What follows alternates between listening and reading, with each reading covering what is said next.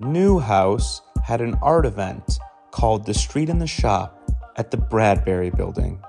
Meegan Barnes invited me to check out all the amazing work. We got to talk to some of the artists who were there. We spoke with Lilah Rose about her custom jacket brand she runs with her husband and fellow artist Jean Nagai.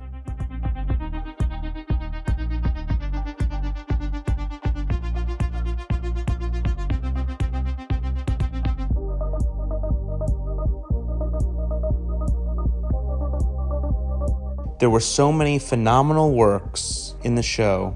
One of my and Meegan Barnes' favorites was works by Cathy Akers, aka CA Ceramics on Insta. We had a chance to speak to her about her work.